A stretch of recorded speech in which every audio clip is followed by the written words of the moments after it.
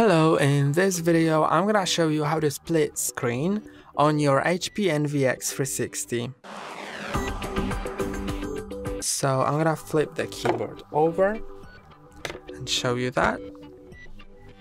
So to split the screen is pretty simple. Just need to open two, at least two apps, up to four apps. So first I'm gonna open two apps, maybe let's open the Microsoft Edge and the File Explorer and to split the screen just start moving the app. So hold at the top bar start moving it.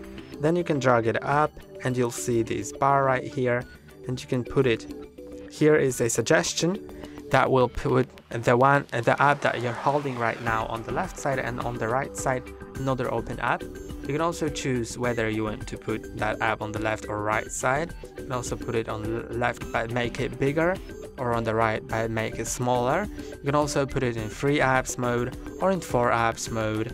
So first I'm gonna put it in like the standard this mode, put it on the right, then it automatically asks me what app to put on the left side, let's click on it.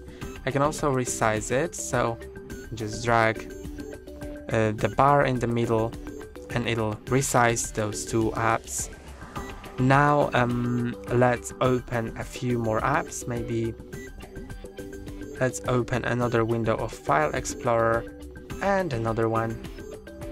And now I'm gonna move this app to the top and maybe let's put it in top right corner. Then it asks me what to put in the other places. So here I'm gonna put my Microsoft Edge, here File Explorer and here File Explorer as well. I can also resize it and this is how split screen works. That's all for today, don't forget to like and subscribe, see you next time.